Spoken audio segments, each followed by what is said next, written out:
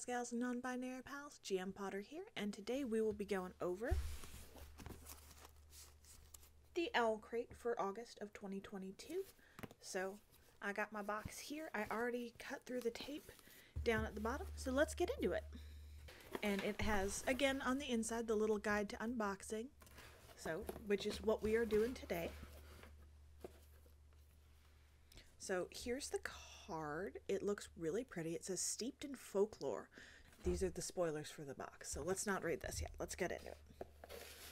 We've got little little wormies. Oop, and there's something in the wormies. So let's set that to the side because I see something big. And this must be the Middle Earth. Like we've got Mordor, we've got like it looks really cool. And it's Owl Crate collection. Ooh.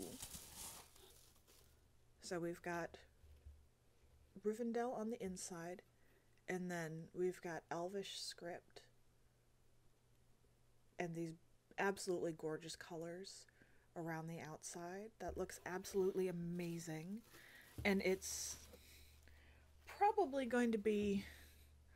I don't know what I'm. Oh, it's got the little Owl Crate logo on the bottom. That's cute. Um, that's really cute. It's a good size. I'll probably eat ice cream out of it. Like, not a full bowl of ice cream because I can't eat that much ice cream, but I'll probably eat ice cream out of it. So let's see what this is. It's just a little envelope that says Owl Crate. Oh, it's a little white wolf. Inspired by The Wolf and the Woodsman, it's an enamel zipper pull. That is really cute. I haven't read that book, but that is see if I can get you a little closer. That is beautiful. I like that. Like, I like keychains and little bag charms, so I'll probably put that in my purse. Ooh, we have some tea. Red alert, we have tea. From Riddle's Tea Shop. She pulled a pouch of tea from the basket. The bag read an Owl Crate exclusive and smelled simply delicious. Magic seemed to waft up from the bag as she carefully opened it, inhaled deeply, and it smelled like banana bread. How delightful, steeped in folklore. Uh, it's a honeybush tea, apple pieces, uh, decaf Ceylon tea, cocoa nibs, cinnamon, uh, natural banana flavor, natural chestnut flavor, marigold flowers, and natural vanilla flavor. Gluten free, nut free, dairy free, and a decaf tea. Uh, steep at 210 degrees for four minutes. Use one teaspoon per cup, and you actually get to see the tea. Like, let me get that up there for you. Like, it looks good. Like, it's looks like a nice, healthy tea. I'm gonna open it and smell it.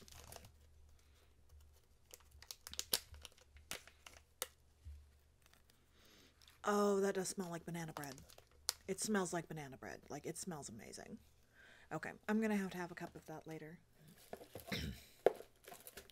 so, we have something else that comes in plastic. Um, looks like some sort of fabric.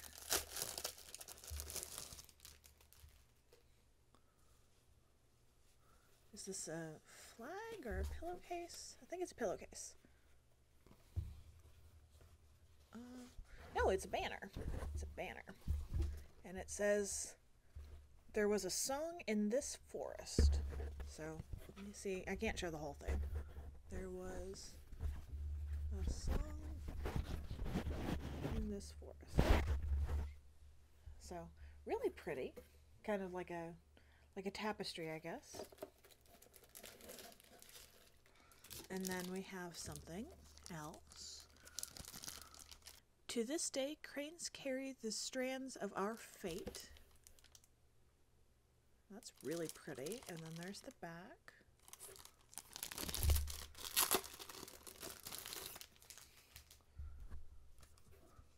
Is this origami? it's origami! And we've got, okay, so we've got how to make paper cranes, and then we've got lots of pretty paper.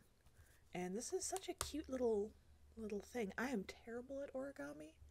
Um, so I might pass this along to my niece and nephew because they're actually supposed to be really good at origami, or at least they really enjoy it. So let's do the little pin now. So it says Literary Luggage, Owl Crate, Limited Edition Enamel Pin Collection. This is design 8 of 12. And this one is... Oh, that's cute. Sailed through the port of Kreos, inspired by Fable. So let me get that up there so you can see it. Uh, designed in collaboration with Hey Atlantis Creative. And then we have the book, which is The Drown- Drowned Woods. Uh, author of The Bone House by Emily Lloyd Jones, Oceans Will Rise and A Kingdom Will Fall. So that looks really cool. And the letter on the back says Dear Owl Crate Reader, as long as I can remember, I've loved two things forest, forests and fairy tales. When I was younger, I would go into the woods for comfort, solitude, and a place to think. I made up my own stories about magic and adventures that might be found among the Douglas firs and blackberry briars. As I set out to write this book, I tried to recapture those feelings of magic and possibility, to write a story that combined old fairy tales and new characters, and of course, I made it a heist because I love heists. I hope you enjoy it, f- friends. All best.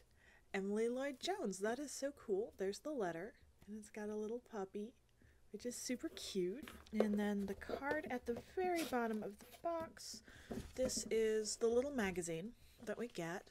Um, ooh, it has a Middle Earth abode. Where should you live in Middle Earth? The answers are the Shire, Rivendell, and Erebor, which is, for me, probably the Shire because I, I'm I'm a tall hobbit, but I do have hobbity feet. They're a little furry. So, and then we have interview with a vendor uh, the person who made the uh, the there was a song in this forest uh, banner, which is kind of cool. Uh, August book photo challenge. It's time for another auth- owl babble, uh, steeped in folklore. Um, they have other releases we're excited about this month. The Book Eaters, Three Kisses, One Midnight, Wild is the Witch, Belladonna, and Babel.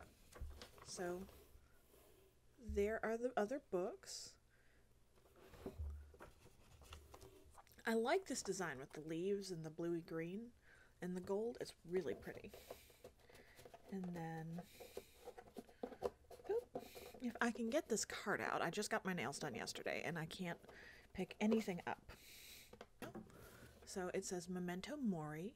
Uh, every September box will include an exclusive hand poured candle from Flick the Wick. That's cool.